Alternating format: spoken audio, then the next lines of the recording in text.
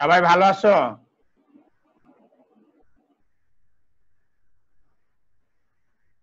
Hello ভালো আছি। হ্যাঁ এই যে এখন হলো আমরা শুরু করছি দেখো।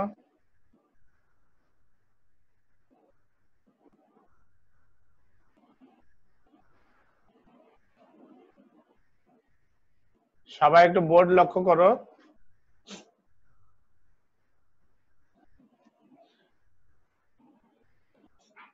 সমীকরণ হতে গণনা আমরা গতদিন একটা করেছিলাম, আজকে আবার আরেকটা অঙ্ক দেখব। তারপরে আছে উৎপাদন মাত্রা, লিমিটিং বিকিরক, কেমিক্যাল স্টয়কোমেট্রি, কেলাস পানি, গঠন পানি, কপার সালফেটে, কপার সালফেট অণুতে কেলাস পানির পরিমাণ নির্ণয়।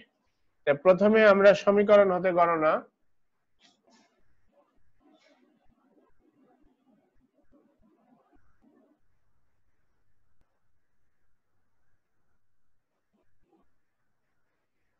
দেখো, আমরা একটু বোর্ডে একটু দেখে নিই, তারপর ওখানে আসছে আবারও। সমীকরণ হতে গণনা।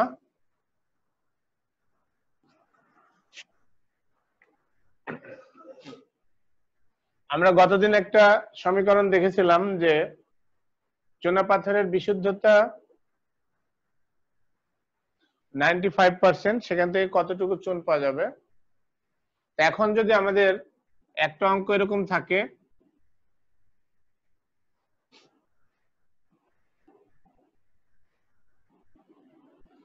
দেড়শো গ্রাম ক্যালসিয়াম কার্বনেটকে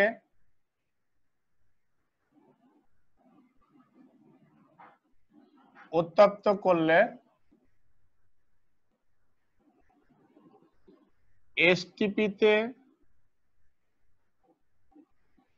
কতটুকু কার্বন ডাইঅক্সাইড উৎপন্ন হয়?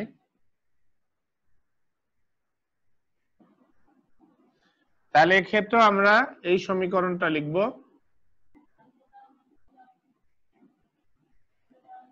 দেখো, ক্যালসিয়াম কার্বনেট থেকে আমরা এইভাবে কার্বন ডাইঅক্সাইড পেতে পারি অথবা এভাবে পেতে পারি। যেহেতু উত্তপ্ত করতে বলা হয়েছে, তাহলে আমরা এটা নিব। আর যদি আমাদের অ্যাসিড দিতে বলা হতো, তাহলে আমরা পরেরটা নিতাম। তাহলে আমরা আগেরটা নিব। দেখো, এখানে আমরা ক্যালসিয়ামের পারমাণবিক ভর চল্লিশ, কার্বন বারো, অক্সিজেন ষোলো, তাহলে এটা একশো হয়। আরেকটা জিনিস লক্ষ্য করো, এখানে আমাদের শুধু কার্বন ডাইঅক্সাইড চেয়েছে এবং যেহেতু এসটিপি চেয়েছে এসটিপি চাওয়া মানে আমাদের এখানে আয়তন বের করতে হবে। এসটিপি তে কখনো ভর চাওয়া হয় না। এটা মাথায় রাখতে হবে। তাহলে এখানে আমাদের বাইশ দশমিক চার লিটার। এসটিপি তে বাইশ দশমিক চার লিটার। তাহলে আমরা এভাবে লিখব। এসটিপি তে একশো গ্রাম ক্যালসিয়াম কার্বনেট হতে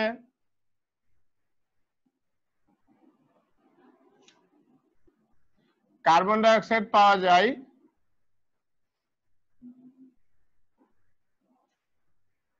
বাইশ দশমিক চার লিটার, অতএব এখানে আমাদের আছে দেড়শো।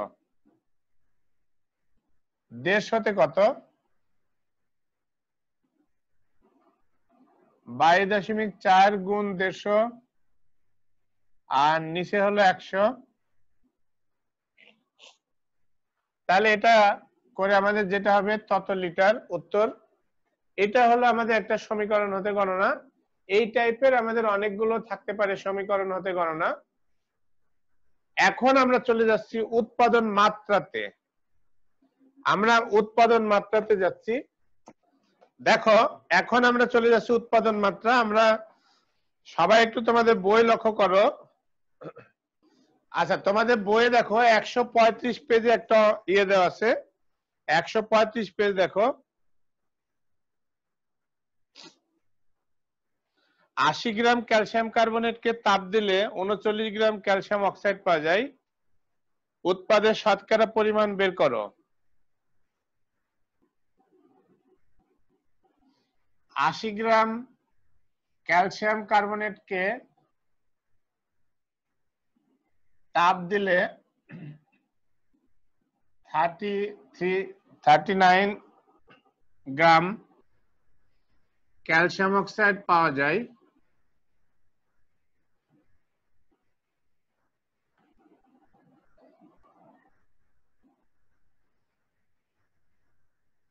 উৎপাদন মাত্রা নির্ণয় করো। আচ্ছা আমরা দেখো, এটা আমরা পরীক্ষাগারে পেয়েছি, কিন্তু আমাদের থিওরিটিক্যালি আমরা কতটুকু পাই সেটা আমরা এখান থেকে বের করব। যে আমরা ক্যালসিয়াম কার্বনেটকে যদি আমরা তাপ দিই ক্যালসিয়াম কার্বনেটকে আমরা তাপ দিলে calcium oxide carbon dioxide পাবো এটা আমরা হিসাব করলে দেখা যাবে এটা একশো গ্রাম, এটা ছাপান্ন গ্রাম। তাহলে এখানে আমরা লিখব, একশো গ্রাম ক্যালসিয়াম কার্বনেট হতে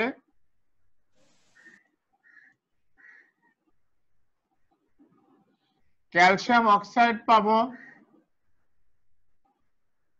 ফিফটি সিক্স গ্রাম। অতএব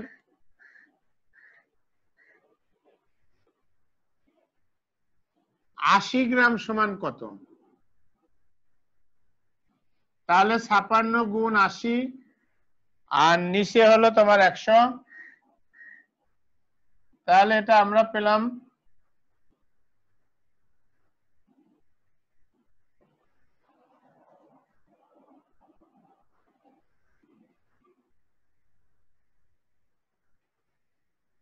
দেখো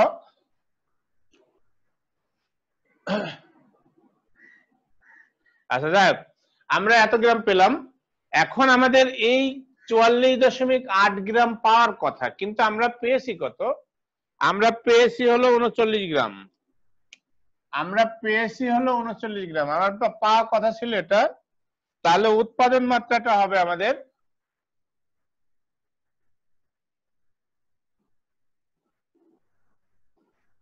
তাহলে উৎপাদন মাত্রা, আমরা লিখব উৎপাদন মাত্রা সমান যেটা আমরা পেয়েছি, সেটাকে যেটা পাওয়ার কথা ছিল, সেটা দিয়ে ভাগ করে আমরা একশো পার্সেন্ট দিয়ে গুণ করব। এটা হলো উৎপাদন মাত্রা। একটু একজন করো এখান থেকে, কত হয়? এখানে দেখো এইটটি সেভেন পার্সেন্ট মতো প্রায়। তাহলে সবাই লক্ষ্য করো যে আমরা উৎপাদন মাত্রা বের করার আমাদের নিয়ম হলো এখন আমরা দেখব যেটা সেটা হলো লিমিটিং বিক্রিয়ক। এখন আমরা দেখি লিমিটিং বিক্রিয়ক। তাহলে তোমাদের এখানে আমরা সমীকরণ হতে গণনা দেখলাম উৎপাদন মাত্রা দেখলাম। যত অনুশীলন করবে তোমরা বাসায় তত বেশি বেশি এটা শিখবে। পুরাতন টেস্ট পেপার দেখে বিভিন্ন বোর্ড বা বিভিন্ন স্কুলের প্রশ্নগুলো সলভ করবে তাহলে এখানে জ্ঞান আরও বাড়বে। এখন আমরা চলে আসি লিমিটিং বিক্রিয়ক। আমরা যদি দুটা পদার্থ একসাথে মিশাই ফেলি, তাহলে একটা নির্দিষ্ট অনুপাতে অনুপাতে পদার্থ দুটা বিক্রিয়া করবে। দুটা পদার্থ যদি একসাথে আমরা মিশাই, তাহলে একটা নির্দিষ্ট অনুপাতে পদার্থ দুটা বিক্রিয়া করবে। ধরো, আমরা দশ গ্রাম হাইড্রোজেন গ্যাস দশ গ্রাম হাইড্রোজেন গ্যাস এবং দশ গ্রাম অক্সিজেন গ্যাস একসাথে যদি আমরা মিশাই, তাহলে সম্পূর্ণরূপে হাইড্রোজেন এবং সম্পূর্ণরূপে অক্সিজেন কিন্তু বিক্রিয়া করবে না। যে কোনো একটা সম্পূর্ণরূপে বিক্রিয়া করবে, আরেকটা কিন্তু অবশিষ্ট থেকে যাবে। তাহলে যেটা সম্পূর্ণরূপে বিক্রিয়া করবে, সেই পদার্থটাকে আমরা বলছি লিমিটিং বিক্রিয়ক অর্থাৎ যে পদার্থটা বিক্রিয়া করার সময় শেষ হয়ে যাবে, আর অবশিষ্ট থাকবে না, তাকে আমরা বলছি লিমিটিং বিক্রিয়ক। তাহলে আমরা এটা একটু চেষ্টা করে দেখি যে এর ভিতরে লিমিটিং বিক্রিয়ককে দশ গ্রাম অক্সিজেন এবং দশ গ্রাম হাইড্রোজেনকে যদি আমরা উত্তপ্ত করি, তাহলে কতটুকু পানি উৎপন্ন হবে? সবাই লক্ষ্য করো, দশ গ্রাম হাইড্রোজেন গ্যাস প্লাস দশ গ্রাম অক্সিজেন গ্যাস যদি আমরা বিক্রিয়া করি, তাহলে এখানে আমাদের পানি পাবো। তাহলে এখানে লিমিটিং বিক্রিয়কটা কে? লিমিটিং বিক্রিয়ক বের করব আর পানির পরিমাণটা বের করব আমরা, পানির পরিমাণ।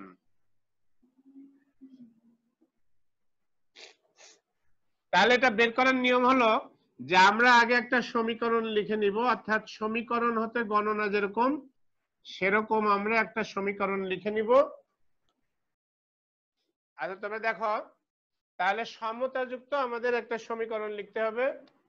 আমরা এখানে সমতা করি। আমাদের পানির পরিমাণটা, যখন আমরা পরিমাণটা নির্ণয় করব, তখন দরকার হবে, এখন আমাদের এই দুটো দরকার হবে, দেখো। আমরা যদি এখানে তাহলে এখানে আমরা দেখছি চার গ্রাম হাইড্রোজেন আর অক্সিজেন হলো ষোলো গুণ দুই, বত্রিশ গ্রাম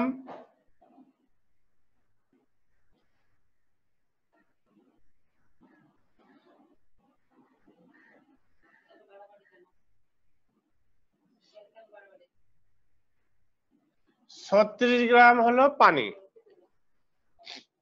তাহলে এখান থেকে আমরা এইভাবে করব, কোন বিক্রিয়কটা আগে শেষ হয়ে যাবে। তাহলে আমরা এইভাবে লিখব, চার গ্রাম হাইড্রোজেন বিক্রিয়া করে চার গ্রাম হাইড্রোজেন বিক্রিয়া করে বত্রিশ গ্রাম অক্সিজেনের সাথে।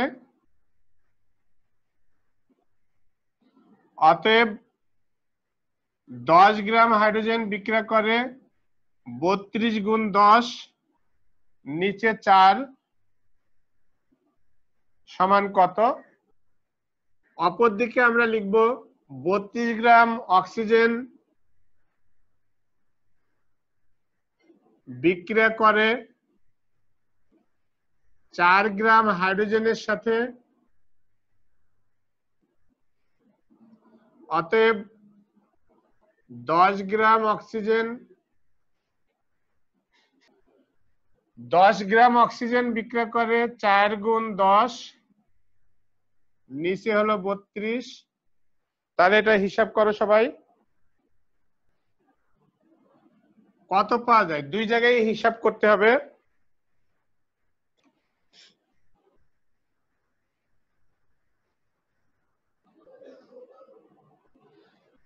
দেখো, উপরেরটায় আমরা পাই আশি গ্রাম। আর নিচেরটা লক্ষ্য করো।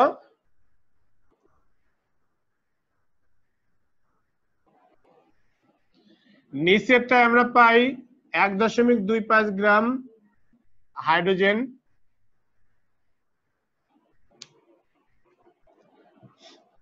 এই জায়গাটায় সবাইকে একটু মনোযোগ দিতে হবে, দেখো। আমাদের এখানে দশ গ্রাম হাইড্রোজেন যদি আমাদের সম্পূর্ণরূপে বিক্রিয়া করতে হয়, দশ গ্রাম হাইড্রোজেন যদি সম্পূর্ণরূপে বিক্রিয়া করতে হয়, সবাই লক্ষ্য করো, আমার আশি গ্রাম অক্সিজেনের দরকার, আমি কিন্তু অক্সিজেন দিয়েছি দশ গ্রাম। দশ গ্রাম হাইড্রোজেনের সাথে বিক্রিয়া করার জন্য, সম্পূর্ণরূপে বিক্রিয়া করার জন্য আমার দরকার আশি গ্রাম অক্সিজেন, কিন্তু আমি সরবরাহ করেছি দশ গ্রাম অক্সিজেন। তাহলে আমার উপরের বিক্রিয়াটা প্রযোজ্য না, তার কারণ হলো আশি গ্রাম অক্সিজেন আমার এখানে নেই। নিচের বিক্রিয়া সবাই লক্ষ্য করো, যে দশ গ্রাম অক্সিজেন যদি সম্পূর্ণরূপে আমরা বিক্রিয়া করাই, তাহলে আমাদের হাইড্রোজেন দরকার হয় এক দশমিক দুই পাঁচ গ্রাম। তাহলে হাইড্রোজেন আমরা দিয়েছিলাম দশ গ্রাম।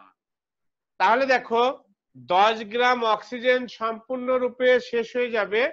তাহলে এখানে অক্সিজেনটা হলো লিমিটিং বিক্রিয়ক এবং অবশিষ্ট হাইড্রোজেনের ভর হলো দশ minus one point two five. তাহলে আমরা উপর এখান থেকে একটু মুছে দিই।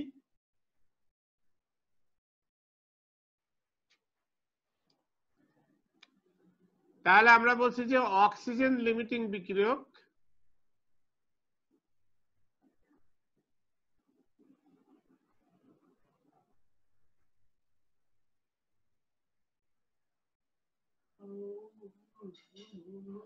অক্সিজেন লিমিটিং বিক্রিয়ক, অবশিষ্ট হাইড্রোজেন। বিক্রিয়া করার পরে অবশিষ্ট হাইড্রোজেন অবশিষ্ট হাইড্রোজেন হবে দশ বিয়োগ ওয়ান পয়েন্ট টু ফাইভ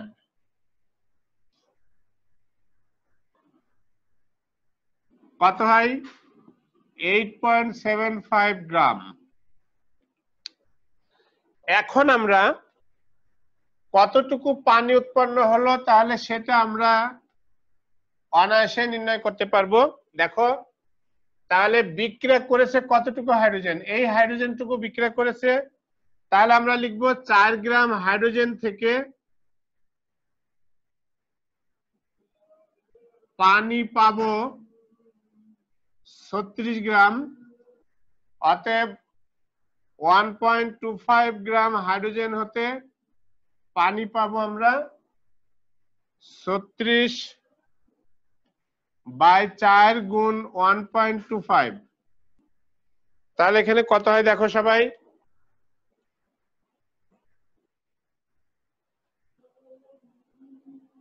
সবাই লক্ষ্য করো।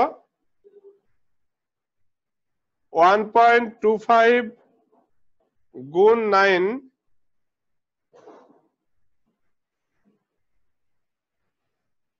আমরা এগারো দশমিক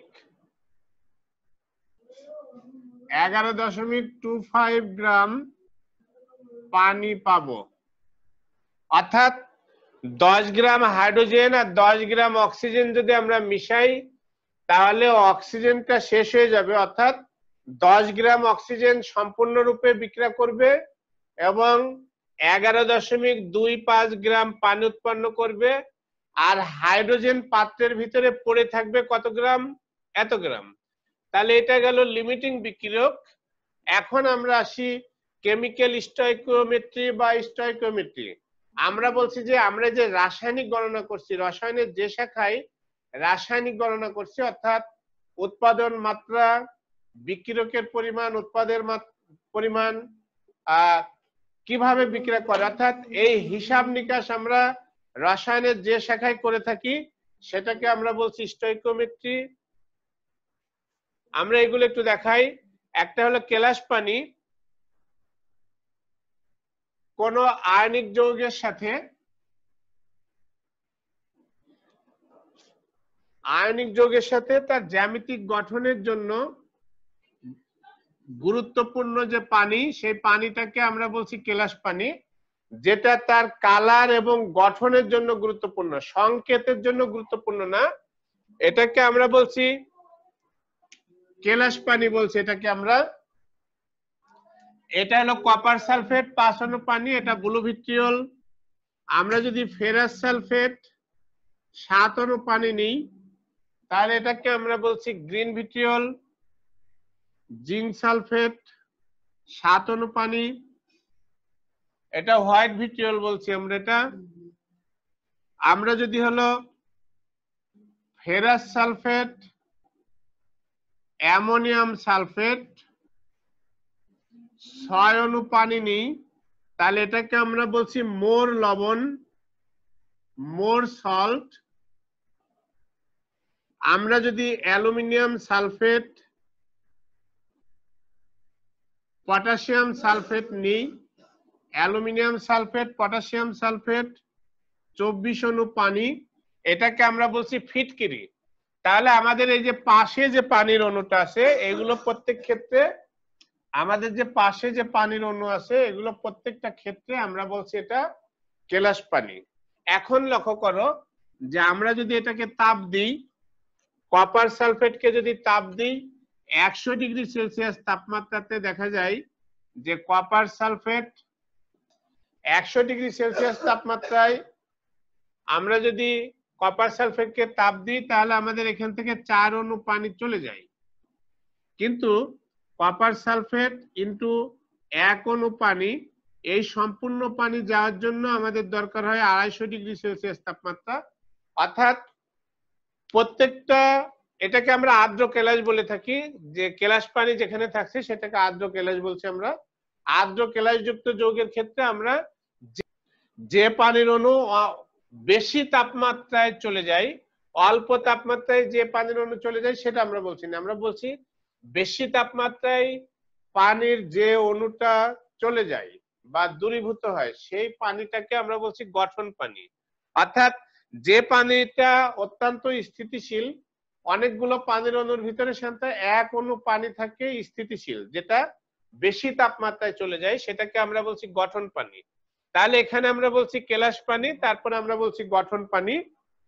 এখন আমরা একটু বয়ে চলে যাই। সবাই লক্ষ্য করো যে আমরা এখানে যে সকল বিক্রিয়ক সবচেয়ে বেশি বিশুদ্ধ, অর্থাৎ নাইনটি নাইন পার্সেন্ট বিশুদ্ধ, তাকে অ্যানালার বা অ্যানালার গ্রেড পদার্থ বলে। রাসায়নিক বিক্রিয়ায় ব্যবহৃত বিক্রিয়কগুলো সবসময় একশো পার্সেন্ট বিশুদ্ধ হয় না। যদি কোনো পদার্থ, পদার্থকে নাইনটি নাইন পার্সেন্ট বিশুদ্ধ করা যায় এবং এর চেয়ে আর বেশি বিশুদ্ধ করা সম্ভব না হয়, তখন এই নাইনটি নাইন পার্সেন্ট বিশুদ্ধ পদার্থকে অ্যানালার বলে। কোনো অবিশুদ্ধ পদার্থকে বিশুদ্ধ করার জন্য পরীক্ষাগারে আমরা কেলাসন, পাতন, আংশিক পাতন, ক্রোমাটোগ্রাফি ইত্যাদি ব্যবহার করতে পারি। এছাড়াও অন্যান্য আধুনিক টেকনিক আমরা ব্যবহার করতে পারি, যেমন X ray diffraction method IR method NMR method SPLC method ইত্যাদি। তুতের কেলাস পানির পরিমাণ নির্ণয়। প্রথমে আমরা দেখি কেলাস পানি কি। কোন পদার্থের অণুর গঠনের অপরিহার্য উপাদান হিসেবে যে নির্দিষ্ট সংখ্যক পানির অণু যুক্ত থাকে, তাকে আমরা কেলাস পানি বলি। সাধারণত যেসব যৌগের কেলাস পানি থাকে, তাদেরকে আমরা আর্দ্র কেলাসও বলে থাকি। এই কেলাস পানিগুলো সাধারণত দ্রবণ থেকে যখন আমরা কেলাসন প্রসেজে বস্তুটা তৈরি করে থাকি, তখন হলো দ্রবণ থেকে এটা আপনা আপনি পানির নির্দিষ্ট সংখ্যক অণু যুক্ত থাকে। এখানে আলাদাভাবে পানি আর যোগ করার দরকার হয় তুতে হলো কপার সালফেট পাঁচ অণু পানি, অর্থাৎ পেন্টাহাইড্রেট কপার সালফেট এর সংকেত copper sulphate into five water copper sulphate পাঁচ অণু পানির সামান্য তুতে গঠিত। কপার সালফেট পাঁচ অণু পানিকে আমরা যদি তাপ দিই, তাপ দেওয়ার আগে আমাদের ওজন করে নিতে হবে। নিলে প্রতি মোল থেকে পাঁচ মোল পানি অপসারিত হয়, অর্থাৎ প্রতি মোল থেকে নব্বই গ্রাম পানি অপসারিত হয়। তাহলে আমরা তাপ দেওয়ার পরে যে সাদা কপার সালফেট পাবো, তার ওজন নিব আমরা। ওজন নিয়ে আগের ওজন থেকে এই ওজন বিয়োগ করে আমরা পানির পরিমাণ পাবো এবং এখান থেকে আমরা পানির শতকরা পরিমাণ নির্ণয় করতে পারব। তাহলে সবাইকে আমরা ধন্যবাদ জানাচ্ছি। এই ছিল আমাদের আজকের আলোচনা। এই ভিডিওটা যদি সবার ভালো লাগে, অবশ্যই লাইক দিবে। আর যদি কোনো কমেন্ট থাকে তাহলে অবশ্যই কমেন্ট দিবে, আমি তার উত্তর দেওয়ার চেষ্টা করব। আর যারা এই চ্যানেলের নতুন, তারা অবশ্যই চ্যানেলটাকে সাবস্ক্রাইব করবে, যাতে পরবর্তী ভিডিওগুলো সবাই পেতে পারো। ধন্যবাদ সবাইকে।